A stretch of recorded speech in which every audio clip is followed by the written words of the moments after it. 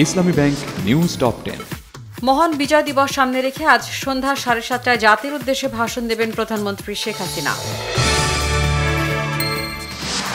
কাল মহান বিজয় দিবসে বীর শহীদদের প্রতি শ্রদ্ধা জানাতে নানা প্রস্তুতি চলছে সাভারের জাতীয় স্মৃতিসৌধে।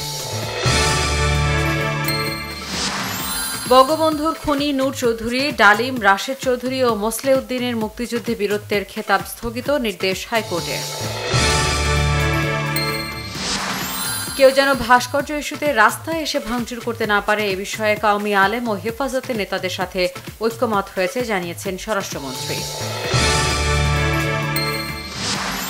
থানায় হত্যা পরিকল্পনা হতে পারে না, সিনহা মার্ডার প্রশ্নে মন্তব্য আইজিপি ডক্টর বেনজির আহমেদের। পুলিশকে আরও মানবিক হওয়ার তাগিদ দিলেন DMP commissioner Shafiqul Islam.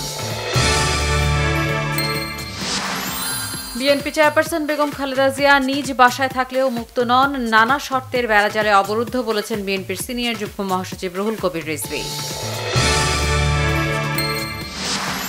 পনেরো দিন সময় বেঁধে দিয়ে রাজধানীকে তারে জঞ্জাল মুক্ত করার ঘোষণা দিলেন ঢাকা দক্ষিণ সিটি কর্পোরেশনের মেয়র।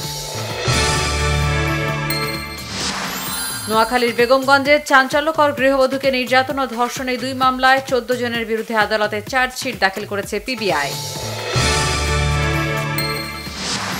করোনার তৃতীয় ঢেউ ঠেকাতে আবারও লকডাউনে যাচ্ছে ইতালি, জার্মানি সহ ইউরোপের বেশ কয়েকটি দেশ। পিএসজির জন্য দারুণ স্বস্তির খবর, নেইমারের চোট ততটা গুরুতর নয়।